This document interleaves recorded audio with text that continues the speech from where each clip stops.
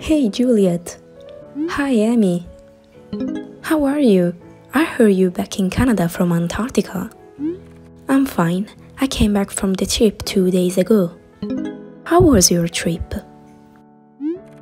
It was amazing. I explored, analyzed, and studied a lot of things. I'm so curious. Tell me what you learned. As you know, Antarctica is the continent located in the southern hemisphere of the Earth. It is even larger than Australia. A place that covers a tenth of the Earth's surface, perennially covered with ice from highlands and mountains peaks emerge that exceed 4,500 meters.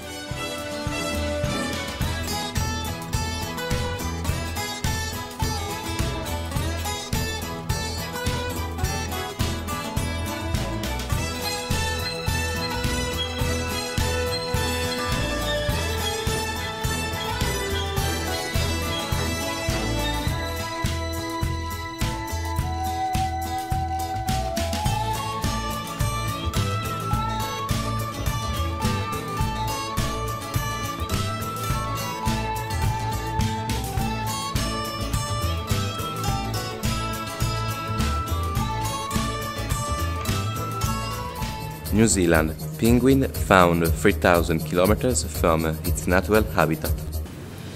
Good evening to all and welcome to the Sweatball News with the latest news at uh, half past seven. In particular, we will talk about the discovery of the Endurance ship.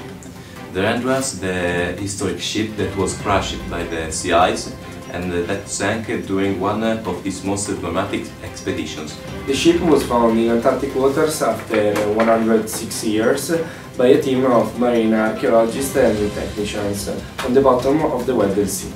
This evening we're going to talk about the frozen continent, the hottest news of today with the participation of our correspondents. Good evening. Minus 11.8, that's crazy.